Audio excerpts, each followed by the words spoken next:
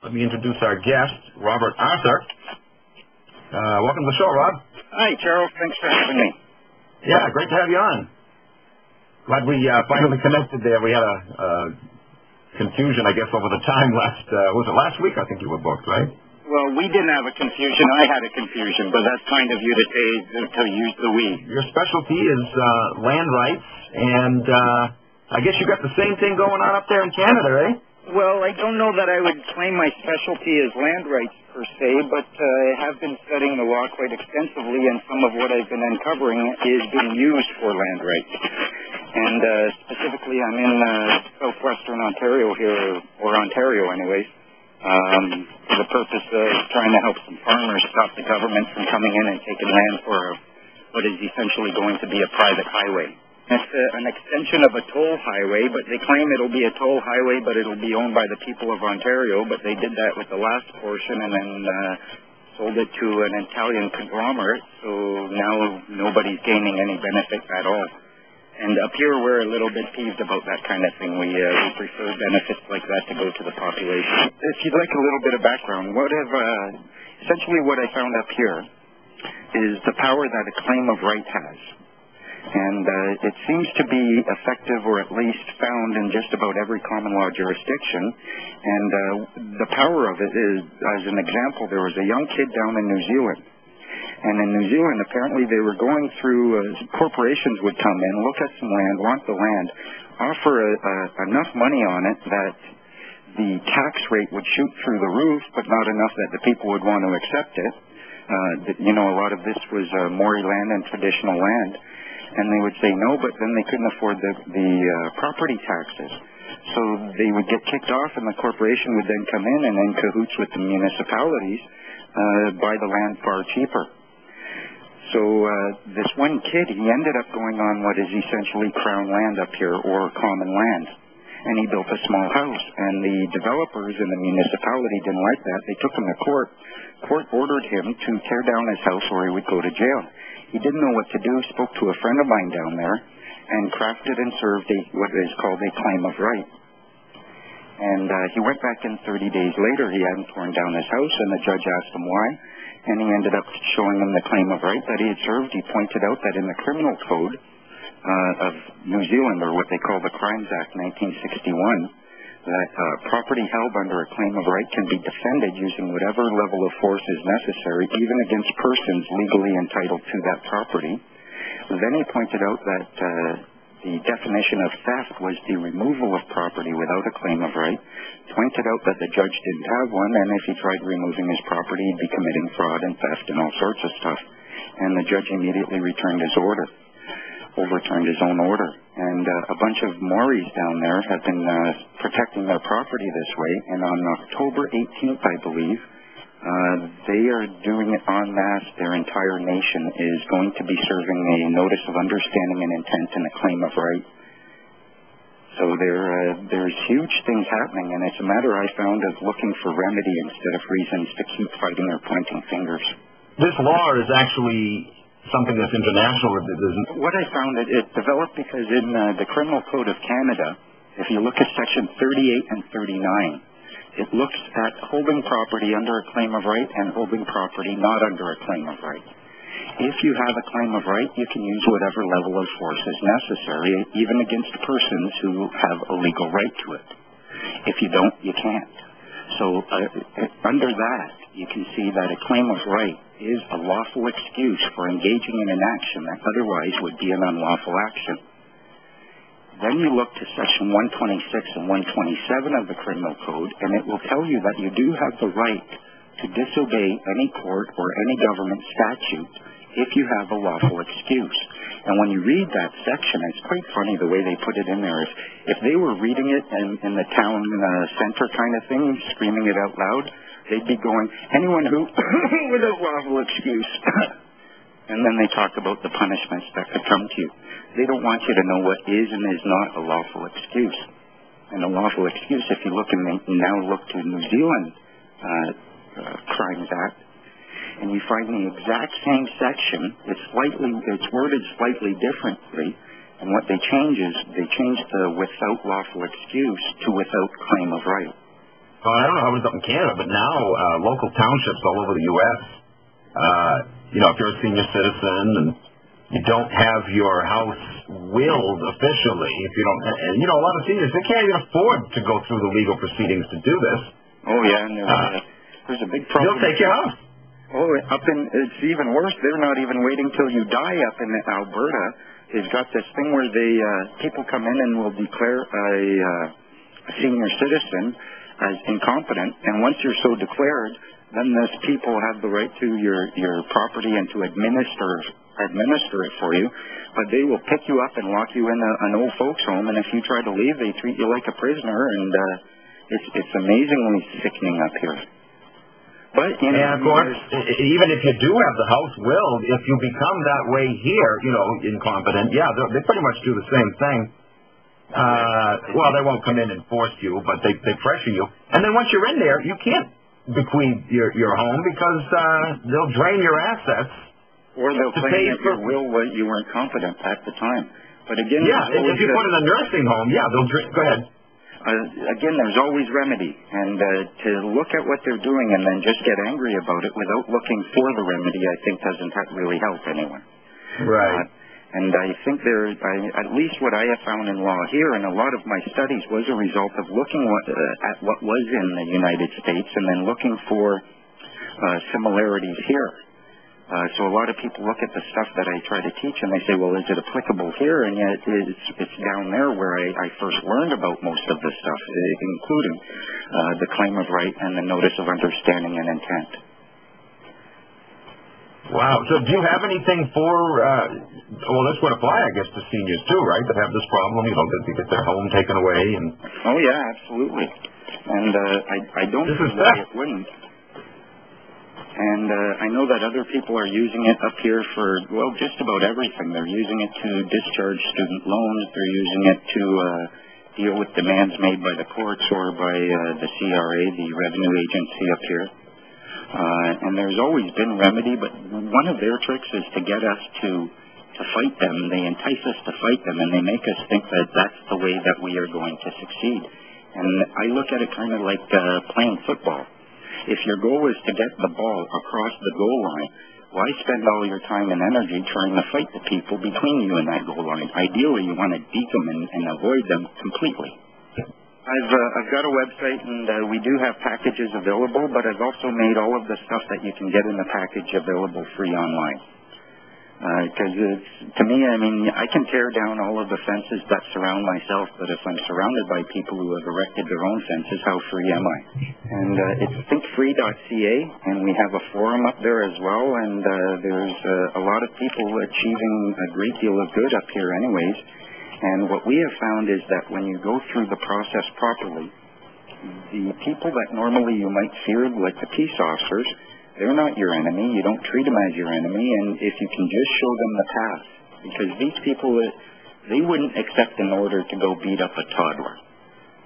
They they wouldn't accept that order because they know it's unlawful. If you establish certain, if you serve a notice of your understanding and intent and a claim of right, and you do it through a notary public, you can create a situation where any order from a, a, a court against you would be unlawful, and they would have a duty to know this. So it's uh, it's about us trying to educate them and doing it without uh, without the fear and without the anger and without pointing fingers at them. When you treat peace officers like that up here, anyway, some of them I'm sure there's bad apples everywhere. Oh yeah, Some of them yeah. Respond quite positively. Okay, welcome back to Truth Earth Radio. It's your host, uh, Charlie Giuliani. We're joined by uh, Robert Arthur. You know, I was just looking on your website here. Are you there, Rob? Yes, I am. Oh, okay. Yeah, I was just looking on your website, and I noticed you've got quite a few uh, uh, things here on uh, tickets. You know, speeding tickets, quote, speeding violations. This is something that a lot of people aren't aware of. Uh, and again, I don't know the laws up in Canada, but I'm assuming from what you got here that it's pretty much the same thing. Uh, they don't have the right to uh, to uh, give you uh, speeding tickets.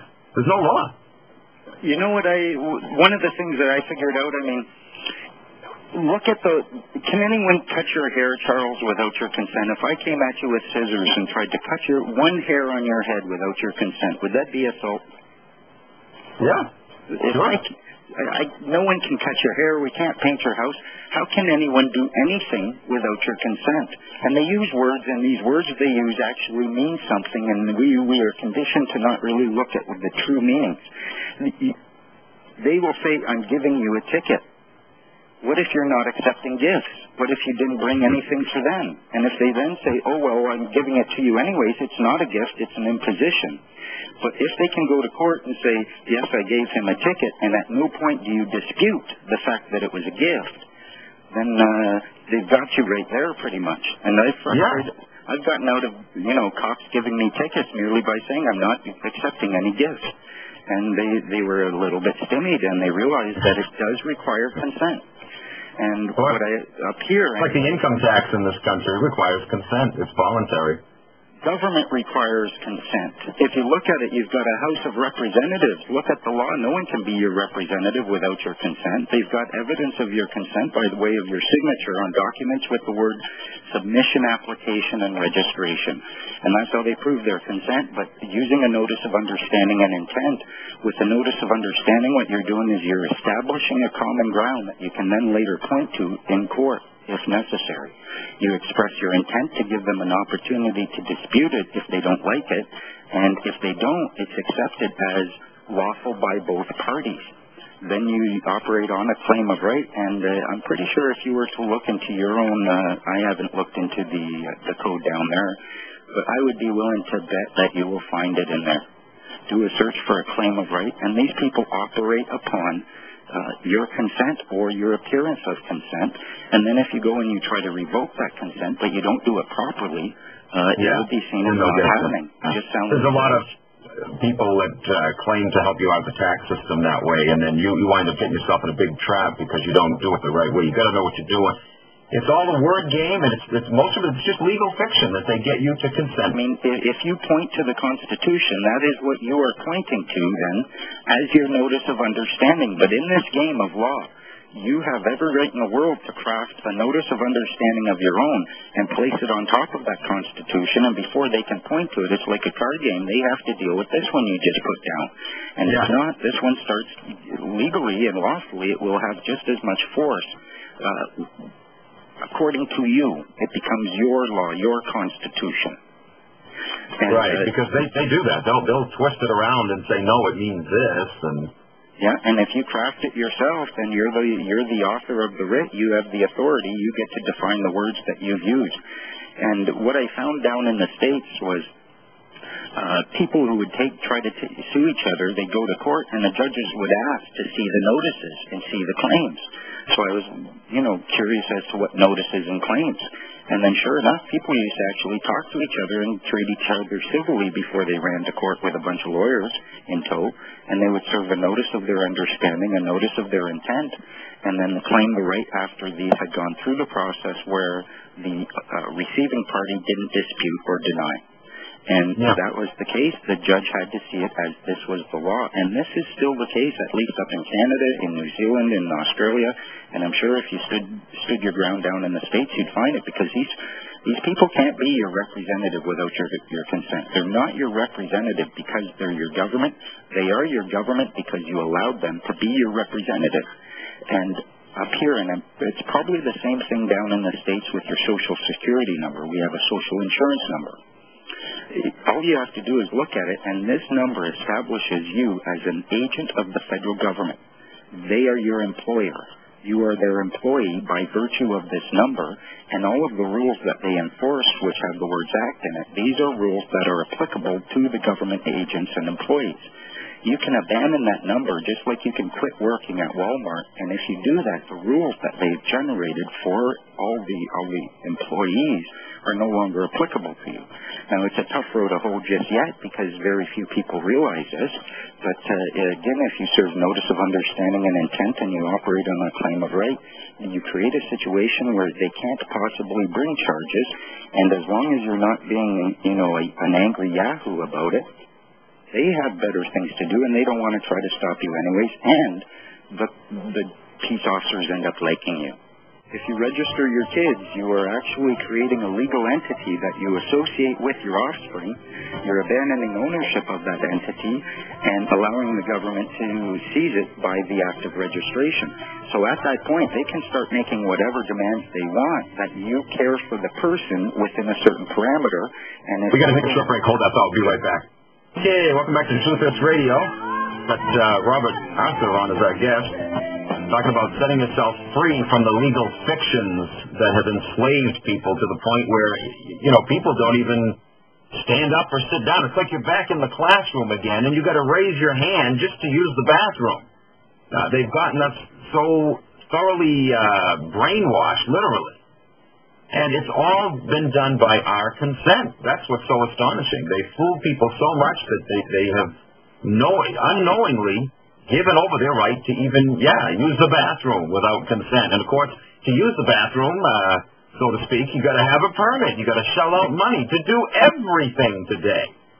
So they make you pay for your enslavement. It's a function of law, Charles. Uh, you can't point to a body of words, claims it give, claim it gives you authority, and then not know what the words mean because you're speaking nonsense. You're pointing to something that has no sense for you and using it for claiming authority. And in a common law jurisdiction, you can't do that. So you're going beyond that. Yeah, and what I found is uh, if you look at, and I'm pretty sure it works down there. I, I use a, a essentially commercial law in this in this uh, example or in this case because what they are doing is they're trying to give you a bill of exchange if you look at a violation ticket, at least up here, and the ones that I've looked at down south, I think one came from Texas, one from uh, Florida, they all match the definition as well. And they get you into dishonor by the way you treat that violation ticket, that, that bill of exchange. If you identify yourself as a human being and not a fiction, point it out as a bill of exchange, and they issue it to you anyways, uh, or they, they fail to give you the original, they impose a copy on you, and they don't give you the three days grace that you are supposed to have under the Bills of Exchange Act, uh, you can send that off to the third party who would be demanding payment. You take it to a notary public. They protest it for lack of proper presentment. You were never given a proper bill to deal with. All they gave you was a copy. You take that to the notary public, you send it to the third party, the Minister of Finance in this case up here. They have three days to either represent the original or they have to prove that the original was lawfully presented according to the Act. And if they don't do that within the three days, guess who's liable for that, that bill of exchange? They are the cop who endorsed it. And they know this. And now up here, people are doing this process, and I've heard of hundreds of people, at least in B.C., they go through, they say, I'm a human being, not a fiction. That's a bill of exchange, and I invite you peacefully to present the original so I can lawfully deal with it. If they don't do that, you go through the process. You don't, it doesn't cost you a penny, a bit of, of problem. But what they're doing now is they just shut their book and say, I've already ran your name through the computer. I'll have to give you a warning. Take this opportunity to be nice to the cop, to educate them. But next time they run your name through the computer, there's a red flags. They don't want to stop you. And I just, uh, the last time I, last month actually, a month and a bit ago, I drove from Vancouver to Calgary in an unregistered automobile with uh, a plate on the back that said free man on the land. We passed six or seven cops. They didn't stop us, but I had served notice on them, let them know that I was doing this, let them know what my position was, expressed to them my intent, did it with a notary watching, and then claim the right to do so. And uh, it's the law. It becomes the law.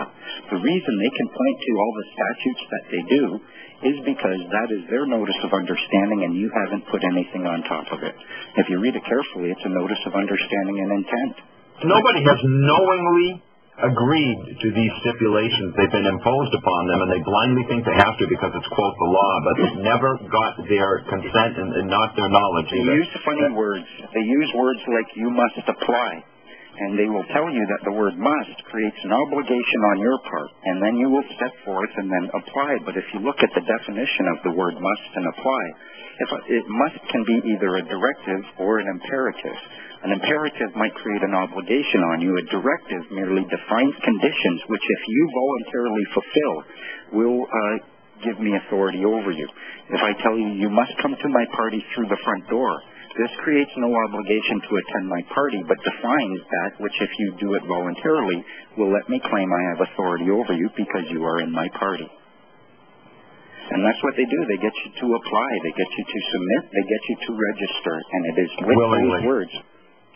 It's with those words that they gain the authority, of the creation, and the authority over your person. And uh, I've learned more about the law, I think, by looking at the Bible and the teachings of Jesus Christ and how he would act. And I've asked myself, how would Jesus Christ act? Would he, would he go and apply? Would he beg? Because that's what you're doing when you're applying. Would he submit? Would he register? I don't think he would do any of those things. And when you reinterpret the Bible in some of the places, uh, I've used his teachings in court to shut down the court, bring it to a screeching halt. Uh, specifically, where they state, uh, where he states, if you're on your way to court with, with your adversary, offer amends before you get there. Otherwise, you will be seized and you can go to jail. Up here, if you offer amends prior to going to court and they refuse your offer, they refuse any discussion, uh, you can merely point that out and you win automatically, or you just point out that there has been no discussion, no negotiation, and therefore this is not a court of competent jurisdiction, because a court of competent jurisdiction and a common law jurisdiction requires that. So you point out the lack of that, and the judges turn white, they yell at the prosecutor, and it gets shut down, and now you're in a position of discussion and negotiation. And if you ask to discuss and they refuse, how do you know what amends to offer? The, the offer Mhm. doesn't have to be accepted. It only has to be made. And of course, uh, there's the what's called void for vagueness clause. I don't know if you have something like that up in Oh, yeah, absolutely. Yeah, that's a, a function of law as well. You can't be compelled to do the impossible. And uh, it's things that are way too vague uh, fall outside, uh, uh, well, it, it starts to become impossible. And uh, plus, um, the other aspect. No one would would be seen to agree to something that vague. And, and- and nothing could be more vague than the IRS code, and yet people are compelled every day, without even question, they just sign over one third of their hard-earned money, which is theirs. They worked for it, they earned it, it's their money, and they're signing. I mean, this is legal theft. They've got them so You will find that each and every one of those likely have a social security number which they begged for. And that's how they get them. So, you know, I, I hear I hear the problem. I certainly hear the frustration and the anger that it generates. But when you look at how they actually do it, they rely on on us going and getting a social insurance number or social security number. And yet, if you look at the code up here, there's nothing stopping you from abandoning that number. And that's what people are doing up here. And now when they send, when CRA comes at them, they say, sorry, I don't even have a, a social insurance number anymore. And uh, I can't even fill out your documents. And we've got court rulings up here where they, because there was no social insurance number, no legal joinder between the, the person and the social insurance number, that there was no obligation. The obligation is held to an account. The account really has the obligation, and that's the number. And Yeah. uh, abandon your number. They can't do anything. They have no mechanism anymore. Down, down here, that number, Social Security, they call it down here, of course, uh, you, it's imposed on you from the time you're born. You don't apply for that; it's given to you. And so, by the time you're of legal No, age, your parents you just- signed for it. Your parents Well, well, well, yeah, that's- through yeah. registration, and they were acting as your agent uh, at the time. But there is Right. nothing at law that says that you have a duty to be associated with a number. And if you serve your notice of understanding and your intent, and you claim the right to exist free of that number, you will find that they have nothing with which they can grab you.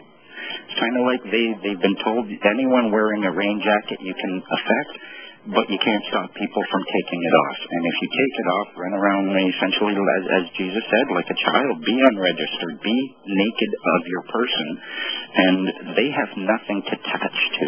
Nothing yeah.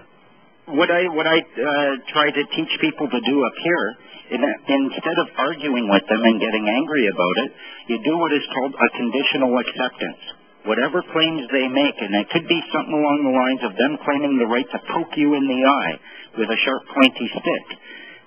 If you say, okay, I conditionally accept your offer, and then you apply your conditions, upon proof of claim that it's not going to harm me, and I want to test that by poking you in your eye twice with the same stick, You put Right, it back right. on them with no anger, and you it, it doesn't matter what their con- what their demands are.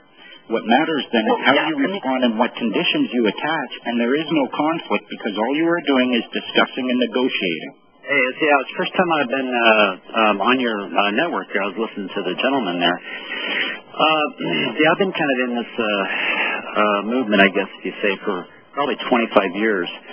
And there's been a lot of people who've been flushed down the toilet here uh, in the lower 48 using the UCC argument. And I, I don't know. For instance, uh, it was rejected in United States versus uh, Stockland, United States versus Green Street, United States versus uh, uh, Kemlick, and these are all federal cases. Uh, I understand the, the concept behind contract between two parties. Uh, so what, what is your author, or the, the, the, the person here that you're talking to, uh, have to say about some of these cases? These cases were used to um, to say that you weren't liable for an income tax under Title 28. And so I, I get a little bit concerned when when people start saying, well, yeah, you can use this, you can use this, when the court has just totally flushed them down the toilet in federal court. Uh, what is your uh, what is your, the gentleman that's uh, talking about this? What does he have to say about that?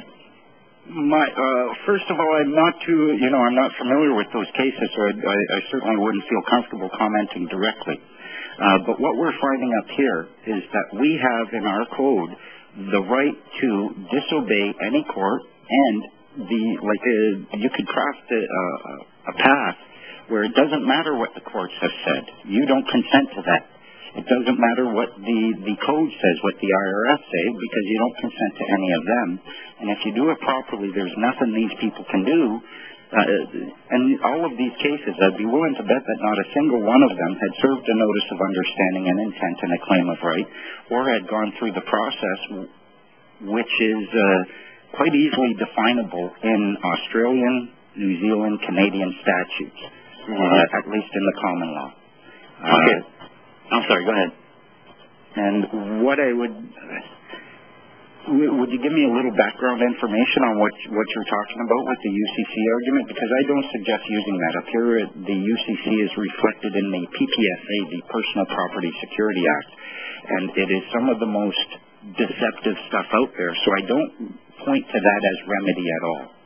Right. I, I'm not. I haven't actually gone through and read each case, um, but I know that. Uh, I mean, there's there's been a lot of stuff like this. You know, the fringe on the Well, flag. hold on, I'm just saying something right up front that a lot of times if you lose a case doesn't mean that the law is in favor of the courts and against you. You know, these, these people very often are either ignorant themselves of what the law really is, or they're just playing ball or got bought off or something. You, you know, Right. uh, but even then, they can't beat you if you know if you understand that this all it's all legal fiction. If you divorce yourself from the system, get out of the Social Security thing, then they don't have that contractual control over you. You you've gotten out of it. That's how they they, they sucker you in. Anyway, hold with us. Uh, we're gonna go to break. We'll be right back. Uh, Jack in Missouri. Um, you still there, Jack? Yeah, I'm hanging in here.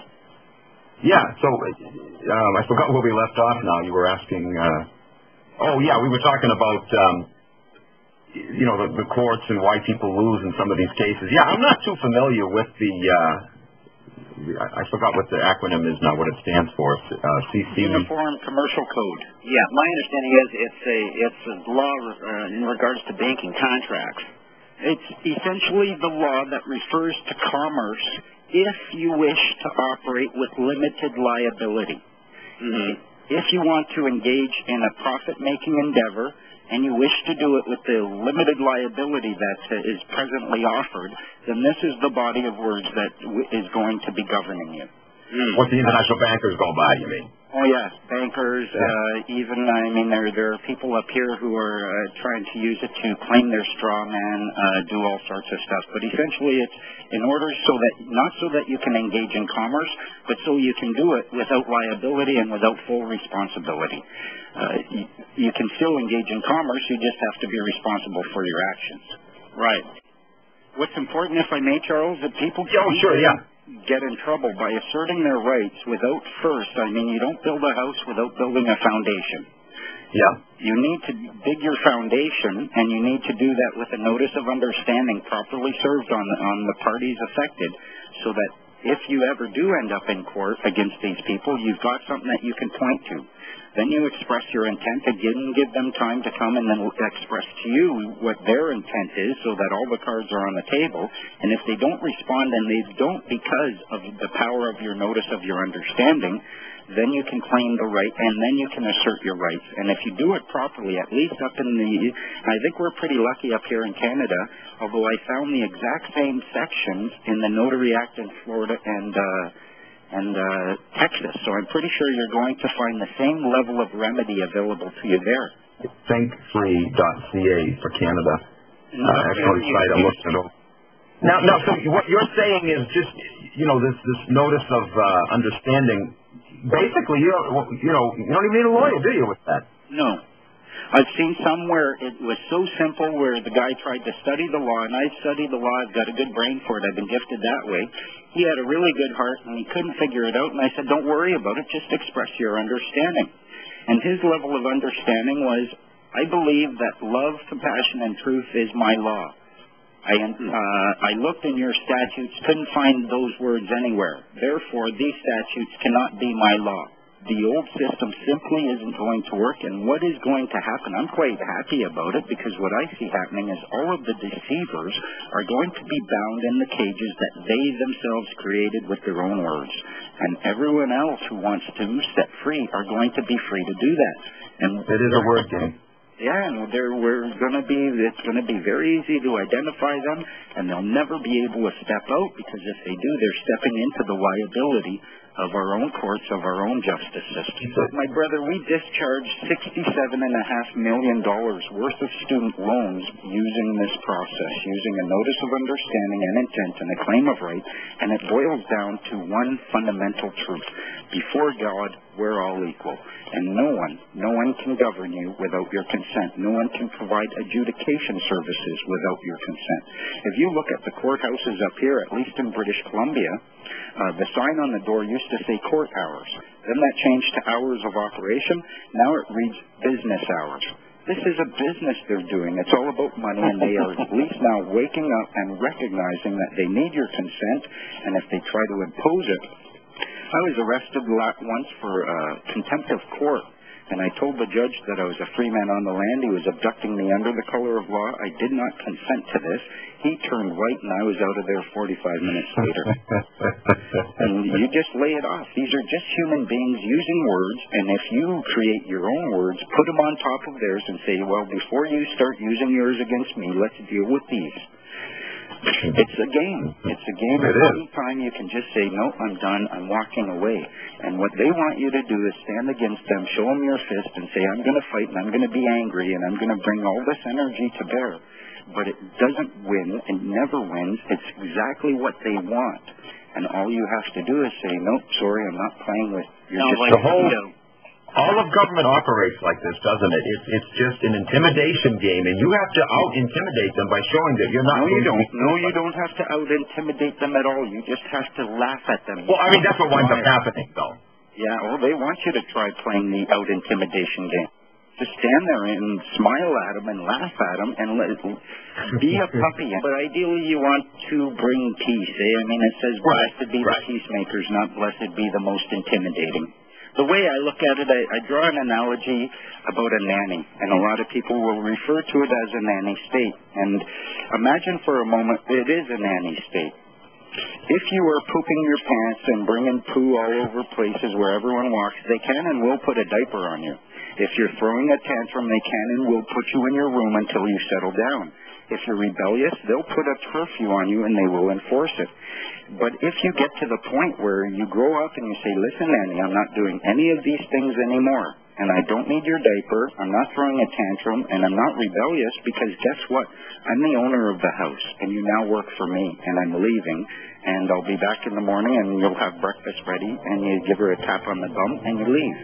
When we grow up spiritually, they lose the power. They only have the power when we're pooping or throwing tantrums or being rebellious. Somebody was asking. I was just looking during the break in the chat room, and someone was asking uh, Robert, you know, if you could cite any cases, specific ones, um, where you know this has been successful. I imagine you probably have uh, a great many, right?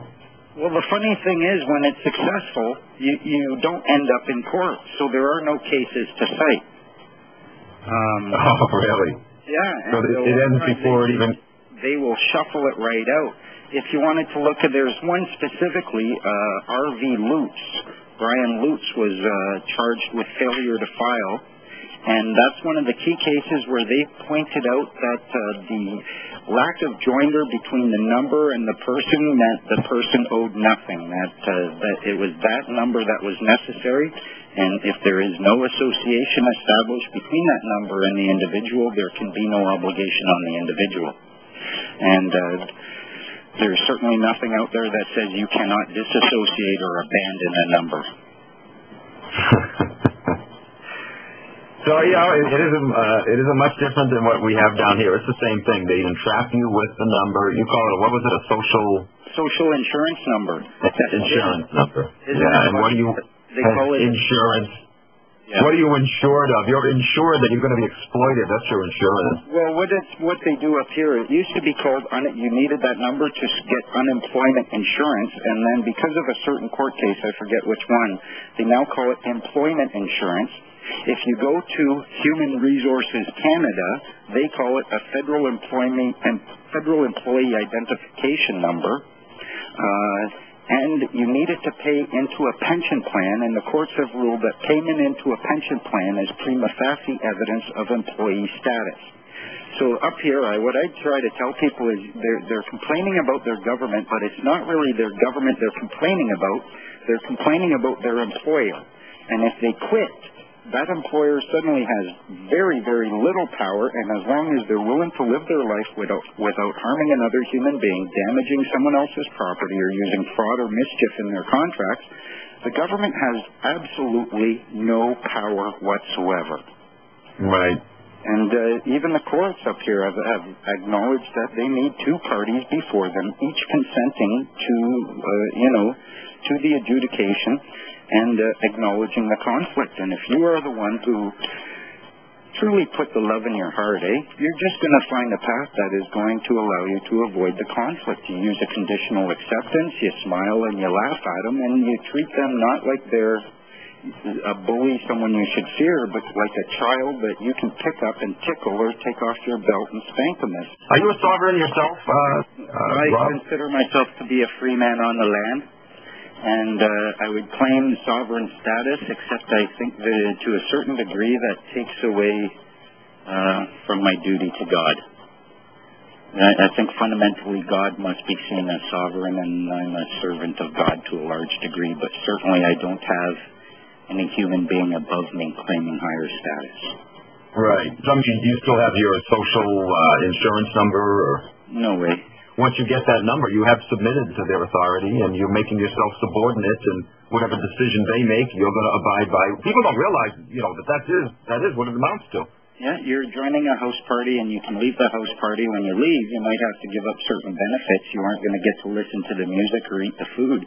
But if they're just playing polka music and force feeding you pablum anyways, I mean, what sort of benefit is that? If you don't know what you're giving up in exchange for societal benefits, how do you know what you're getting is a benefit? Would you buy a car, not know what you paid for it, and then say, oh, I got a great deal? Boy, they got people suckered.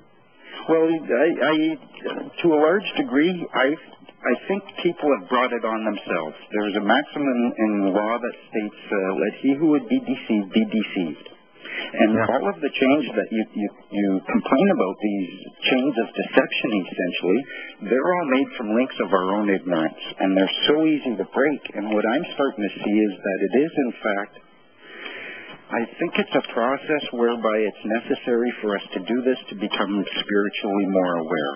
And I think you become far more powerful if you, you know, stop bemoaning uh, the fact that there are people out there who have taken advantage of our own sleepiness. We are being woken up one way or another, and that's a, a good thing, I think. So uh, I'd rather just concentrate on the on getting the camp happening and you know getting the coffee on, and so people when they do wake up, they smell something besides just uh, the crying babies.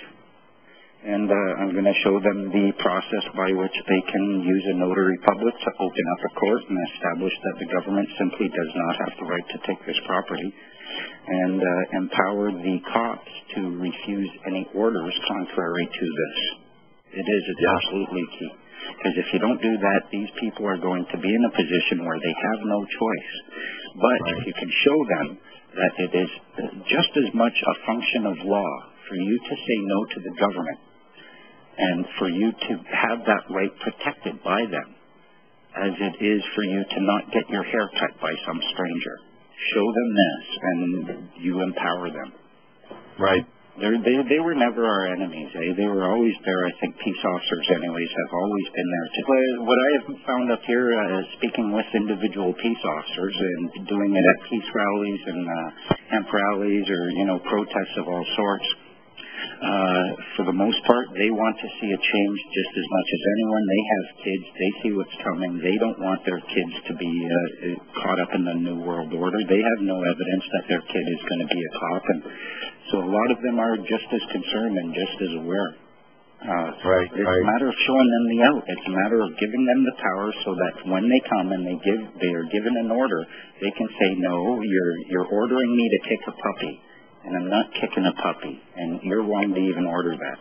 And at least up here, a lot of the judges, they're aware of it. Mind you, we, we've got thousands of people across the country going through this process, eh, Charles? We're just serving our notice, making our claim, and uh, the cops are backing off. They, they've been told they, these people Wow. are not breaking the law, and as long as no one brings claim against them that they've engaged in unlawful activities, don't treat them as a person. Because up here, the criminal code distinguishes between uh, actual crimes, like a, like, um, say a B&E or an assault or a robbery or something like that. It refers to anyone who, and anything else, all the other acts refers to any person who. So in the notice of understanding and intent, you express that you are no longer going to be a person subject to these body of words, but you do recognize that you are an anyone. And cops love it to a large Hmm. degree. You know, I mean, we shouldn't be looking at them as enemies. I'm trying to create a, a place where we look at them as good peace officers. They should have as much esteem as the firefighters. And all they need to do is be educated to the fact that fundamentally we have a right to say no. No, thank Right. you. You're a service provider, and I have said no.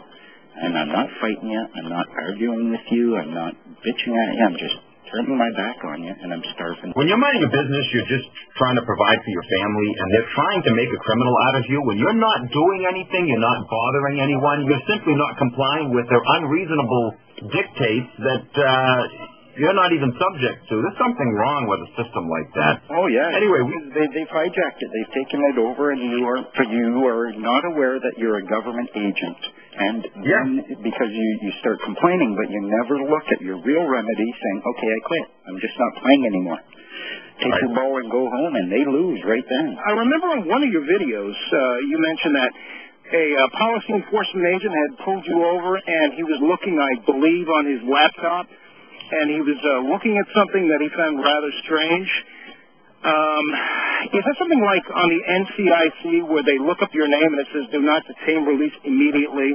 Yeah, it, it Uh, says essentially that I'm a free man, and that there should be uh, no no statutory charges without the express written consent of the Attorney General and the Solicitor General. As they very rarely see that, and from what I understand, a lot of people who are going through this process now, if you serve them notice, that's what's coming up on their screens, and they're just, "Thank you, sir. Have a great day." They leave you alone, as long as again you treat them with respect and. Uh, in your understanding, you express that you are trying to create something better for everyone. Yeah, that's a great. Right. Short break, folks. Be right back. Back on Truth Hurts Radio. So Charlie Giuliani. We've got um, Robert Arthur up in Canada who's tired of playing foolish games, and it's very easy to stop playing these foolish games. Uh, just stop letting yourself being intimidated and suckered and lied to. Uh, Yeah, thing so I would I- like to mention, Charles. Sure. Uh, in the notice of understanding and intent, one of the reasons these have such power is because it comes along with a thing called the fee schedule. Wherein you tell them how much you are going to be paid if they insist upon collecting services from you, and you do so under what is called protest and duress. Duress meaning they've got a gun and they are pointing to a body of words, you don't want to fight with them, we'll settle it later. Protest means uh, essentially you're going to fulfill a contract that they're claiming exists, but they have to prove the existence of that contract. If they don't, you get to create that contract and they only have three days to do it. Uh, what uh, people are doing up here with the fee schedule is, uh, like, for instance, mine, if I am stopped and I'm just educating an officer, I'll take it as an honor.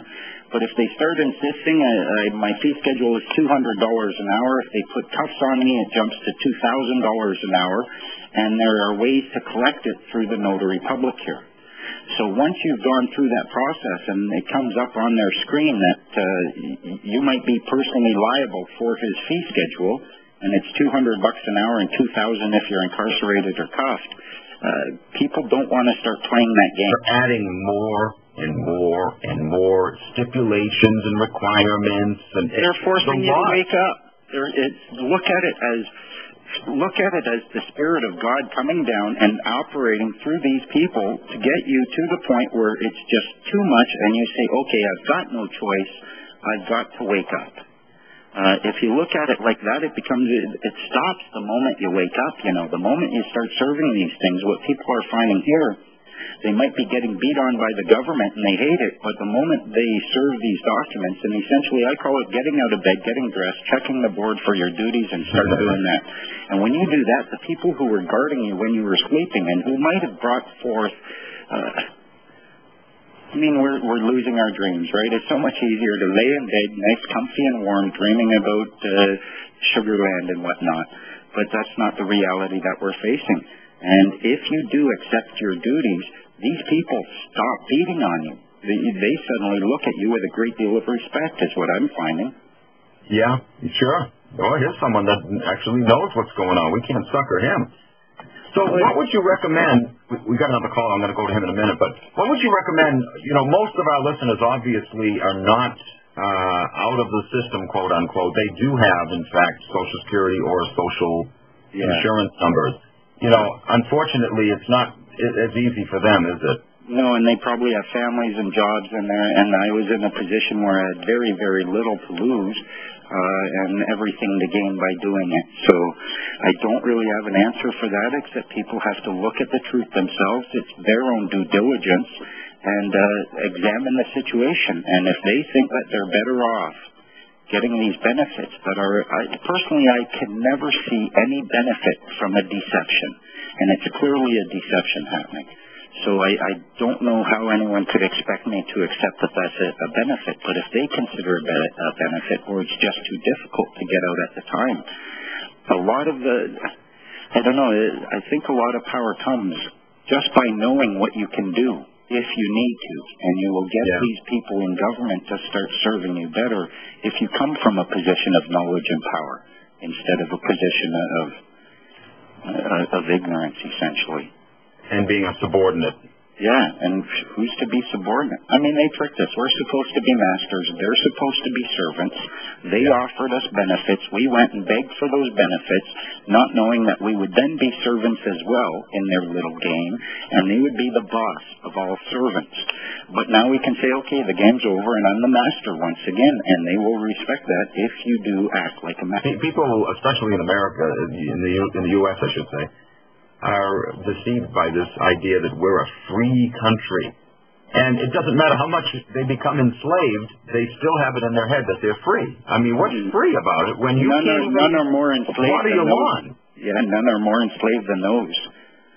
But also, it's a you know, and it, I don't know that I would be as comfortable doing what I do down there because there is a much more um, government militant type attitude to be nice about it. We up here in Canada, we we don't really laugh at you guys. We used to, but now it's getting scary and sad for y'all.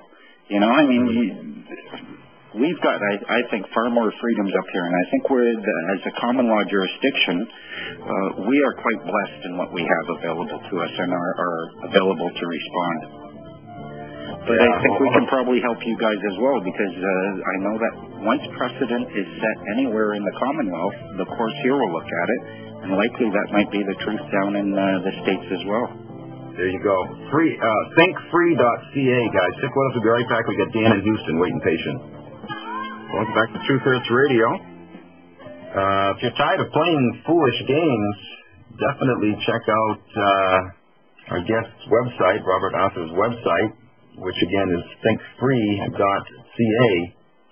Very interesting information here that we're discussing. We've got uh, Dan of the Waiting Patiently in Houston on the line. Uh, you still there, Dan? Yes, sir. Yes, sir. Yeah, I may have called. Okay. I may have called you for the wrong reason. I did. I was uh, part of your conversation with other speakers.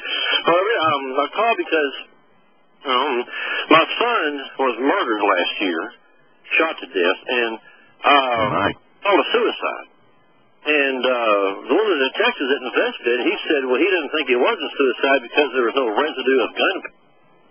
Uh, that's very strange. I think remedy would lie somewhere with sitting down, writing all this out in an affidavit format, and taking it before a justice of the peace and seeing what that justice of the peace could do, especially if you're in Texas, from what I understand.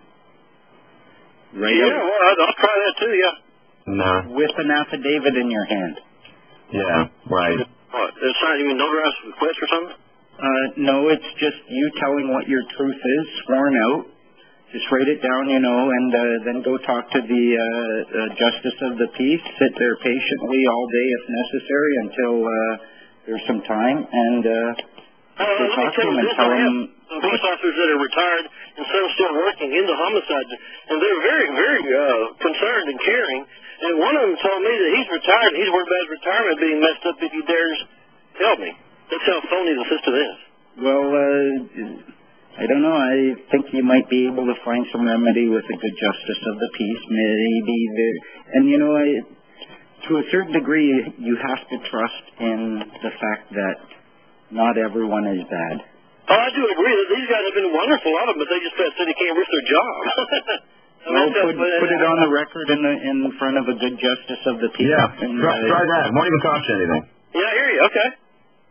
I'll try it. All right, thanks. Yeah, but uh, again, the, the remedy must be. I think it has to come from us. When all Yeah. is said and done, if we can find the path that allows them to be a little bit less lazy and to recognize that their duty, uh, I don't know. I see pretty exciting times coming, and if it spreads properly, uh, we might just have uh, a lot of remedy available to us, and we'll find that. Means. Yeah, have you ever worked in like a, a union kind of thing where the union boss then comes up and says, here, this is, you work a little bit slower? I mean, we might have some very good peace officers out there who are frustrated by the system and want to do better, and all we have to do is give them an opportunity to do so. And uh, that is often the most difficult thing, eh? Mm-hmm. Forgiveness. It's we're looking for the truth because it's the truth that's going to set us free, and it's kind of like a gem, and it shines best under the light of forgiveness. And yet, we're so conditioned to go in there with our our, our fists up, and uh, I'm going to intimidate you into compliance with my will, and it doesn't work. There's a uh, I read a thing in law. It says that a child, an infant, has rights an, an adolescent will have freedoms. An adult has duties.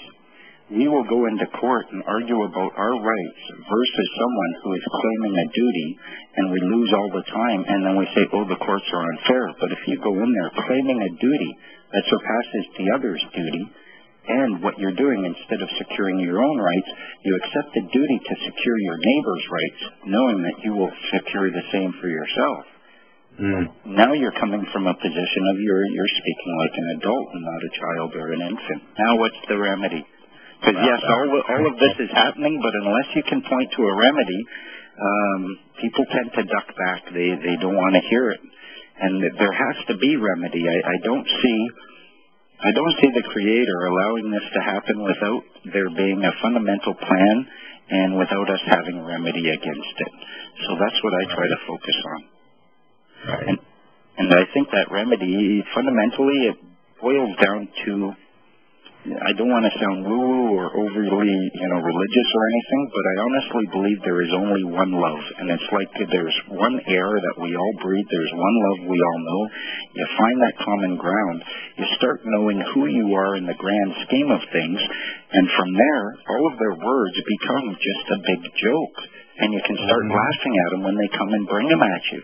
I know people Right. who've looked at it now, and the cops pull them over. They just sit there and give them a big grin, and the cops are like, "Oh, another one. Yeah, I know. Okay, bye." you know, They're just people with words, Charles. They're just Yeah. people with words, and we can be angry at the people, or we can just dismiss the words, and all you're left with are are actors playing a role. I had an, a, an instance in Calgary once where the police officer pulled over myself and my friend Luke Denis, uh, another free man on the land up here, and I asked him, I said, what role are you playing? Are you playing the role of a, a, a law enforcement officer or a peace officer? He got quite angry and insisted that he wasn't playing any role at all. He was working. He's not playing. And yet, I then pointed out that right in the Police Act, in their Police Act, it uses the word, the terminology, playing two roles. So I said, Mhm. so clearly you're not going by the Police Act. And that just took the wind right out of his sails and he left. But I did it not with, you know, anger or anything, but just a big smile and a big grin. And I remember who pulls, a, uh, pulls the curtain away from the Wizard of Oz, eh? It's the puppy, just the yappy puppy. And for the most part, a lot of these people, these are the same people who, who they might give you a ticket and you might hate them one minute, but driving down the road, if they saw you in a ditch and your your child was in danger, these people would put, be putting their life on the line. They're they're not your enemy. You got to get to the point where you can educate them and show them that their job is to support you, even against the government and the courts, because these are just people playing rules, and you're not you're not in their theater of operations anymore. I think most of them probably go out with a desire to serve and a desire to create better communities. And if you can see them from that perspective, I think that's where a lot of the teachings of Jesus come in. If you can love your enemy, you can see their perspective. If you can see their perspective, you can lead them to yours. But if you refuse to accept their perspective at all, how are you going to get them to yours? I, I, do, I don't even try to think of it like talking them into a trap. I try to show them a path that leads to peace and abundance for everyone. we're talking about your friend. What was her name again? Uh, Chris Titus, and she is with Fathers for Justice. And uh, they focus mainly on uh, obtaining equal access for parents and uh, equal access in the courts. Yeah, that sounds good. I'll, I'll, I'll try to get her on uh, for on another show. In fact, um, you still have you have my email, right? Yeah, yeah, I can Yeah, uh, definitely put you two in contact, and uh, you'll find a very spirited and very fun woman. Uh, they uh, up here, what they did is they uh, bought hundred and thirty thousand crickets, and then they brought those into the courts, and they released them in all of the courts, so that the courts would know that you could silence one voice, but you couldn't silence all of them. They sent these crickets to politicians, and they uh, they're jumping all over the place. And uh, some of the politicians were quite impressed. Said, uh, "I got to tell you, every time I hear a cricket, I think of Fathers for Justice." well, this is very good stuff. I mean, you, you can't argue your approach from a legal or a common sense standpoint. Uh, it only makes sense to approach these people in a very calm and, and uh, controlled spirit. Uh, that, you know, and like you said, look at Jesus. I mean, th- here was a man who was uh, hadn't done any wrong. In fact, all he ever did was was for the good of others, and yet uh, they wanted his head. Yeah. And he, he never gave them anything to, to, you know, never violated any law, never gave them any reason to uh, be hateful toward him. All he did was tell them the truth, just told it like it is. And for that, they hated him. Yeah, the people who, who uh, rely on deception generally are not too fond of truth speakers. I've had a government agent actually try to use that scripture against me because uh, they thought that it gave them scriptural right to collect taxes. And I said, listen, uh, show me a Caesar. Caesar is someone who could kill you for not paying taxes. Show me the Caesar. And if you can't, then let's concentrate on the key part of that scripture, which is render unto God and that yeah. set them up pretty quick because we we have no more Caesars. I mean, show me the ones right. can kill me for not paying taxes, for not not be kneeling before them or paying tribute. They can't do it. They can't do it lawfully. I have no Caesar. I'm hindering them.